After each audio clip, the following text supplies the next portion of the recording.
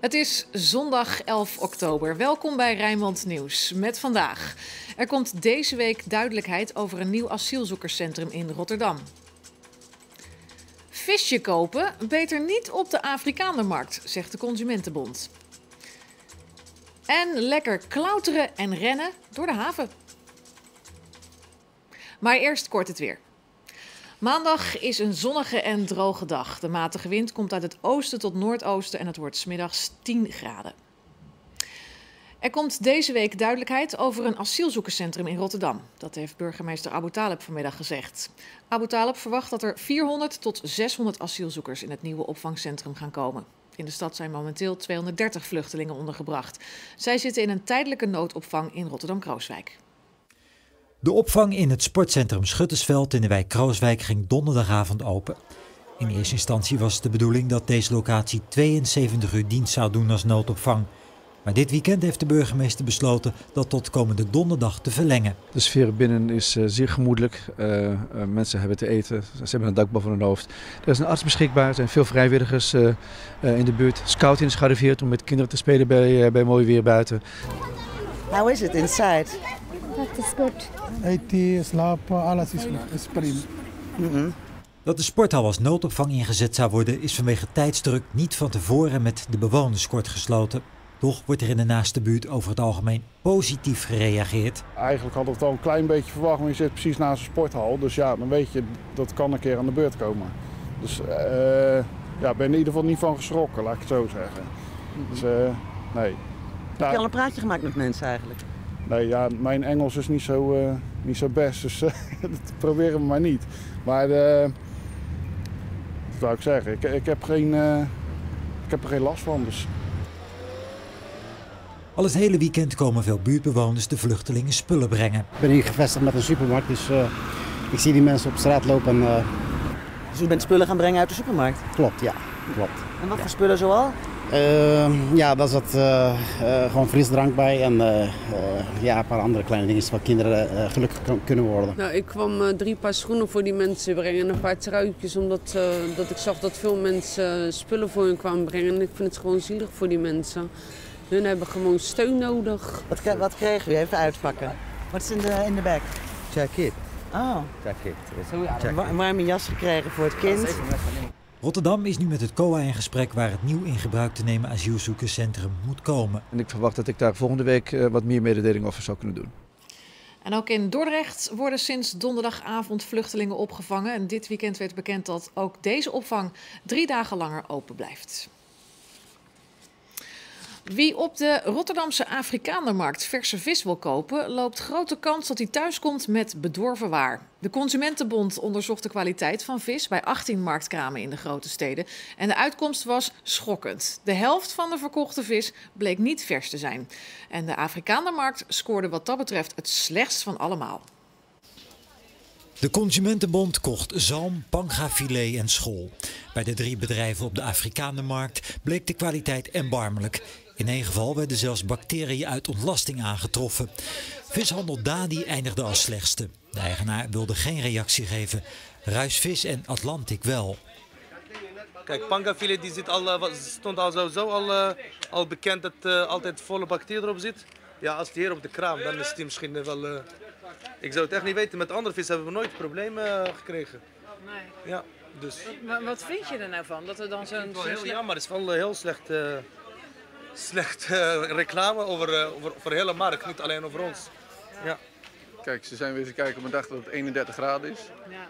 Kom je op een dag kijken in november, dat het uh, 15 of 10 graden is of 8 graden, ja, dan, dan zou je hele andere resultaten zien. De kraam van Simone Bijster werd niet beoordeeld. Maar slecht nieuws over de vis in Rotterdam raakte ieder handelaar, zegt zij. We hebben een kraam weer neergezet uh, met allemaal verse, verse vis en verse spullen. En ja, door dit worden we in een uh, heel slecht daglicht gezet. Er zijn niet alleen grote verschillen in de kwaliteit, maar ook in de prijs, waarschuwt de Consumentenbond. En verder loopt u vooral in de zomer risico's, omdat veel kramen geen koeling hebben. En dat is niet alleen hier op het Afrikaanderplein, wij staan ook op Rotterdam Centrum. En daar gaan de kramen van uh, uh, groter naar allemaal kleiner. We moeten allemaal inkrimpen, dus daar past nog ineens geen vrachtwagen achter. Geen koeltoonbank, niks kan daar. Het wordt steeds moeilijker gemaakt hier in de gemeente Rotterdam. Mevrouw, kijk eens. En bedankt. Fijne dag verder. Hoi. 4000 hardlopers stonden vanmiddag aan de start van de Harbor Run in Rotterdam. Een loop dwars door de haventerreinen op Rotterdam-Zuid met industriële obstakels. Geen wedstrijd, maar gewoon een kick voor de hardloper zelf. Een heel bijzondere loop, voorlopig uniek in de wereld. Ja, waarbij je echt over de terreinen, uh, door de containers, door de loods, uh, onder de kranen door. Uh, ja, dat maakt hem uniek. En hoe is hiervoor getraind? onder andere mudmasters, andere runs doen, naar de sportschool gaan. En natuurlijk veel hardlopen. Is zwaar dit? Als je niet getraind bent wel. Dit is niet even een stukje lopen, hè? Nee, het is een end, maar we hebben getraind. En dan eerst een warming-up en dan het startschot, gelost door de Rotterdamse wethouder Adriaan Visser.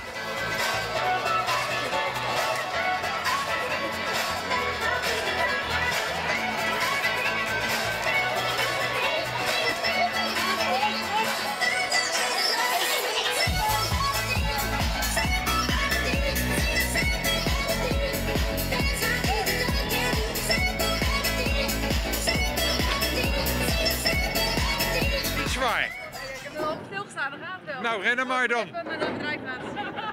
En hier ook uh, gaat het allemaal geweldig? Hoe is het mogelijk, hè? Jullie zijn bijna halverwege, hè al? Bijna. ja. Er komt nog het een en ander aan. Het gaat niet verklappen. Halverwege, de 5 kilometer. 4000 deelnemers. Strompelen of klimmen nog fit. Over stroopbalen en over containers. Dit is heel erg zwaar. Fysiek zwaar, maar voor iedereen toch wel te doen. Zo is die eigenlijk gebouwd. Wat afleiding onderweg en dan de finish. Het is maar 10 kilometer, maar toch? Ik heb allemaal geknokt en... Uh... Het was zwaar. Ja, dat was goed pittig. Heel zwaar. Dwars door de Rotterdamse haven. Heel mooi. Hey, succes, gefeliciteerd.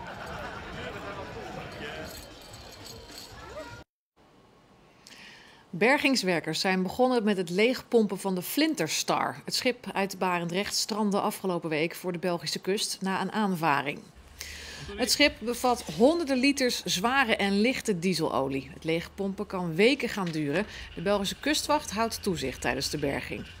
Wie er voor de kosten moet gaan opdraaien is nog onduidelijk. De twee reders die betrokken zijn bij het scheepsongeluk moeten geld storten in een fonds.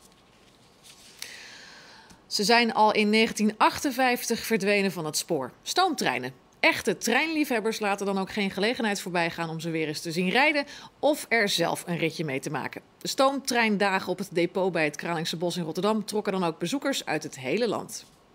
Stoomtreinen rijden af en aan bij het depot bij het Kralingse Bos. En iedereen mag meerijden. Er gaan zelfs treinen over het gewone spoor naar Gouda en weer terug. Hoe was het? Ja, helemaal geweldig. Dus uh, wij hingen uit het raam. Mijn vader die komt er zo uit. Die is 80 geworden en die is helemaal treintjes van haar. Toch geweldig. En ja, het is stoom, stoom leeft. Ik bedoel, ik, uh, gewoon een trein draait knopje om dat in gaat rijden. Maar dit uh, moet van alles aan gebeuren. Water erin, kolen, hè? Ik, prachtig toch? Die, die geluiden, de, stoom, die kracht die, die daar ontstaat. En zeker als je bij zo'n locomotief staat. Dat, dat, dat, dat, dat geweld, dat, dat gebulder, hij is daar bang van. Hij durfde er niet bij te komen. Maar het, ja, het heeft iets heel, uh, heel imposants. Op de draaischijf worden de oude locomotieven gekeerd, zodat ze met de juiste kant voor weer het spoor op kunnen. Je moet je voorstellen van een klein beetje gekookt water wordt even een paar ton staal in beweging gebracht. En dat vind ik het fascinerende van de stoomtrein. Ja.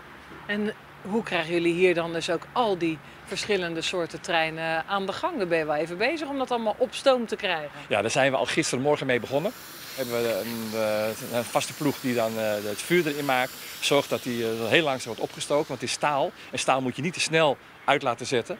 Want dan, het is een historisch locomotief, daar wil je nog jaren mee uit de voeten kunnen. Dus dan, uh, dan doen we het heel langzaam. En op een gegeven moment is het in de avond, gaan we naar huis. Dan gaat het vuur er wel een beetje uit. Maar die locomotieven staan zo warm, dat we vanochtend vroeg, om 4 uur, dan de, ploeg, de ochtendploeg binnenkomt. Dan het vuur weer, aan, vuur weer opstookt. Dan is hij ook binnen de kortste keren is onder stoom en dan kunnen we weer mee rijden. En dit is een oude stoomspuit uit 1910, die de brandweer tot in de jaren 40 gebruikte om te blussen. De pomp wordt aangedreven door stoom. En dan stond hij gestaald bij ons in, in de gemeente bij de gasfabriek. En waarom was dat? Daar was altijd vuur, een kolenvuur. Dus daar kon gelijk bij een brandmelding direct kolen brandend in de spuit geschept worden. En dan met 10 minuten ongeveer was de spuit eh uitdruk gereed. Kon die al pompen zelfs. Mooi hè, zo'n ding. Hij is geweldig. Wij zijn er allemaal verliefd op. ja, echt. En dit was Rijnmond Nieuws. Meer nieuws op Rijnmond.nl en nog een fijne dag verder.